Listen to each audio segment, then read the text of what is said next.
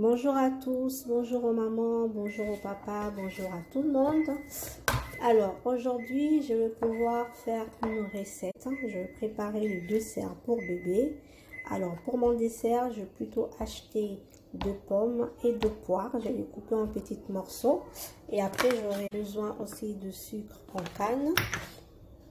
Et pour commencer la cuisson, j'ai besoin de mon baby cook.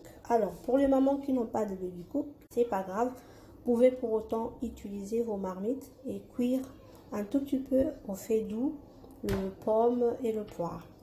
Et il y a plusieurs manières de pouvoir euh, faire euh, euh, le dessert pour bébé. Vous pouvez mettre tout le fruit que vous voulez. Moi aujourd'hui j'ai décidé de pouvoir utiliser le poire et la pomme.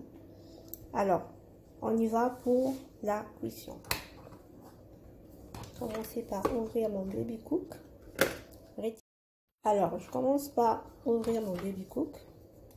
Voilà, je retire le panier. Je prends une portion de... Voilà, il faut pas que ça dépasse.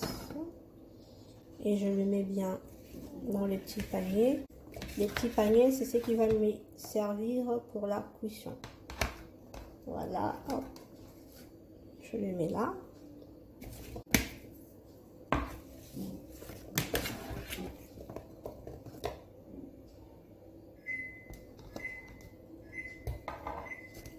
Vérifiez bien que le panier ne soit pas trop plein, sinon ça va déborder après la cuisson.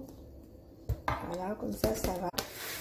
Et une fois j'ai bien rempli, je remets le panier à vapeur dans mon baby. Une fois le panier est bien dans mon baby cook, je vais maintenant commencer la cuisson en appuyant juste là. Voilà, on s'est dit à tout de suite. Alors, la cuisson, ça va pouvoir faire 20, plutôt 15 à 20 minutes à peu près. Euh, à ce moment-là, je vais revenir vers vous pour faire la suite de mon dessert. Alors, nous voilà pour continuer la suite de notre cuisson. Alors là, vous voyez, le panier et bien là voilà. Et je vais pouvoir utiliser le jus qui a pu sortir euh, euh, le pomme et le poire que j'ai coupé pour pouvoir mixer après. Ça va me servir pour le mixage. Alors je renverse bien le fruit que j'ai découpé, d'où le pomme et d'où la pomme pardon et le poire. Après, je vais pouvoir mixer.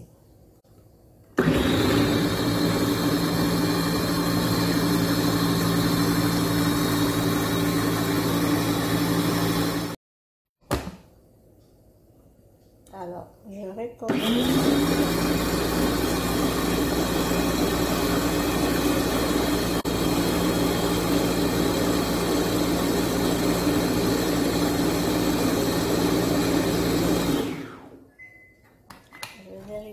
Voir. Voilà, je vois que c'est bien mixé, qu'il n'y a plus rien à faire. Voilà, mon dessert est prêt. Une fois mon dessert prêt, je vais pouvoir utiliser les petits pots.